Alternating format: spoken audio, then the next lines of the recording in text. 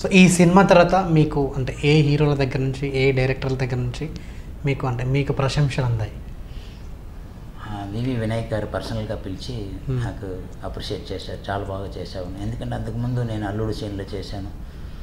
ఆయన పరిచయం ఉంది. ఆయన వాళ్ళు కో డైరెక్టర్ చెప్తే ఫోన్ చేయించి ఆఫీస్కి రమ్మన్నారు. వచ్చిన తర్వాత చాలా బాగా చేశావని చెప్పేసి ఒక గంట మాట్లాడారు నాతో.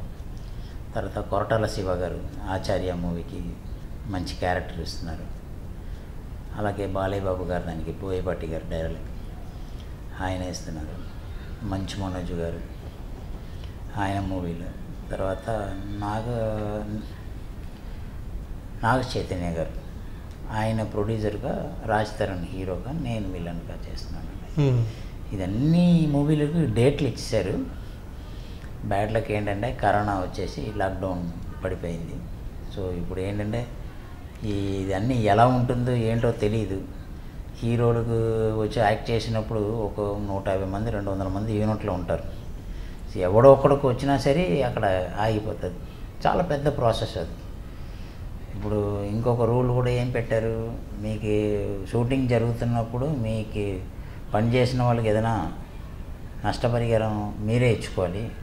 అని అంటే డెఫినెట్గా ప్రొడ్యూసరే ఎక్కడెక్కడో డబ్బులు తీసుకుని వచ్చేసి కష్టపడి సంపాదించిన డబ్బులు లేకపోతే ఎక్కడైనా ఇంట్రెస్ట్ తీసుకుని వచ్చి చేస్తారు. ఒక ఎంప్లాయీకి అలాగ వచ్చిన తర్వాత షూటింగ్ ఆగిపోతే ఆ ఇంట్రెస్ట్ అన్నీ పెరిగిపోతుంది.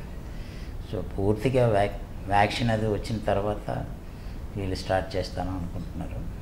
సో ఈలోపు మీ సినిమాలకు కూడా చెక్ పోస్ట్ పడింది. నాకు కూడా పడింది చెక్ పోస్ట్ పడింది.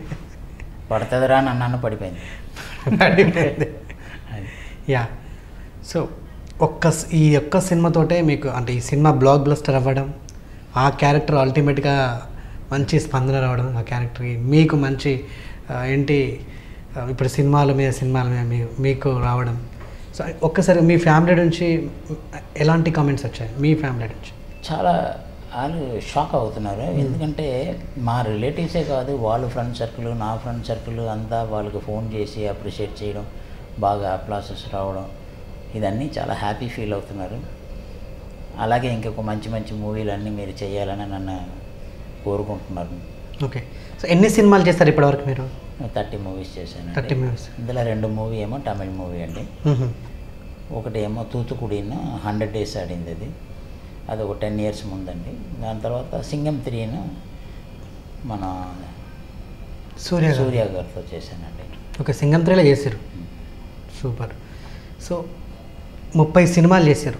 సో అంటే ఇరవై తొమ్మిది సినిమాలకు రాని పేరు ఒక్క సినిమాతో మీకు అంటే అన్ని సినిమాలకు అన్ని వచ్చినంత పేరు ఒక సినిమాతో వచ్చేసింది మీకు. అండ్ ఇంకోటి అంటే ఏ ఇప్పుడు టూ థౌజండ్లోనా? మీరు ఎంట్రీ ఇచ్చింది నైంటీ సెవెన్లోనేనా?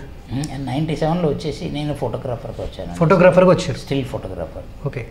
ఒక త్రీ ఇయర్స్ స్టిల్ ఫోటోగ్రాఫ్ చేస్తూ వాళ్ళు డైరెక్టర్లు అంతా ఇన్స్పైర్ అయ్యి క్యారెక్టర్లు ఇవ్వడం మొదలెట్టారు. అలాగా నేను మా యాక్టింగ్ కెరియర్ను కూడా నేను డెవలప్ చేసుకున్నాను. మంచి మంచి క్యారెక్టర్లు చేసుకుని వచ్చాను.